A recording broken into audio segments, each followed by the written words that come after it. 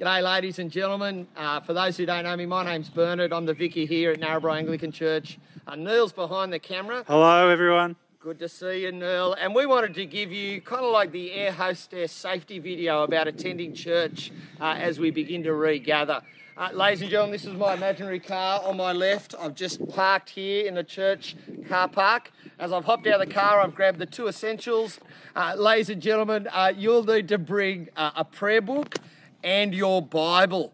Uh, you'll need to bring a few other things like a chair or a picnic blanket and uh, some food and water if you'd like to use those during the service. We'll look at those in a moment. Once you've got out of the car and you've grabbed your Bible and prayer book, you'll then walk along uh, to the front footpath. We're only allowed to enter the church property as we gather together through one So gate. this is what you're doing here. This, This, is what here. I'm doing here. Yeah, I great. just want you to nice see work. those shoes. Thank Yeah. you. Uh, we'll only be able to enter through one gate, and that's the Dewhurst Street gate. And uh, thankfully, uh, the Browns have put these lovely grey dots on the footpath. Everywhere you see a grey dot, you're one and a half metres apart because as we line up for church, we need to make sure that we are socially distanced.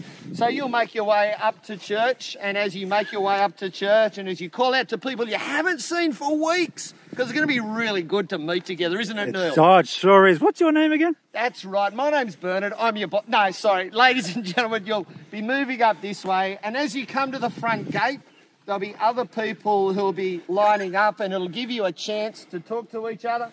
And as you come to the front gate, you'll come through the front gate, uh, you'll be talking to each other, saying good day, and we'll have some tables lined up here as you enter.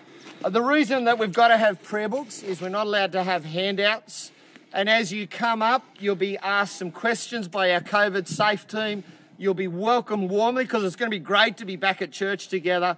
Your details will be taken, and then you'll be have the opportunity for hand sanitizer, and then you'll be given the opportunity to grab a seat on our front lawn.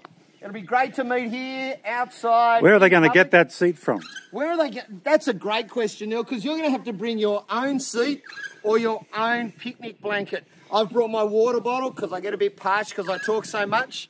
But you'll grab a seat on the front lawn with your picnic blanket or your chair, and then we'll enjoy church from 10 a.m. Uh, our service will be taken from the Common Prayer Book. All our readings will be taken from the Bible. We'll be able to enjoy music together, though we won't be able to sing. We'll be able to gather around God's Word. We'll be able to pray. We'll be able to affirm what we believe. We'll be able to enjoy being in each other's presence.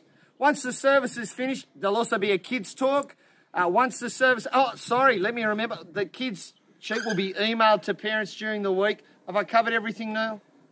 Mm, Yeah. I've covered everything. Once you've enjoyed church, we're going to encourage you because of the health regulations about no mingling to move off as quickly as you can, saying goodbye to people who you'll see in a month's time or in your own home maybe. And you can take this opportunity to be inventive about hospitality. You might grab together a group of people and get fish and chips and go and sit by the river. You might invite someone to come back to your place for lunch afterwards and do the coffee questions that we're providing in the service.